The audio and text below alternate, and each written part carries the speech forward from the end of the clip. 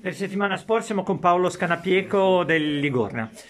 Allora Paolo, un 1 a 1 che a mio parere vi sta un pochettino stretto, poi anche diciamo la solita sfortuna diciamo dell'autogol.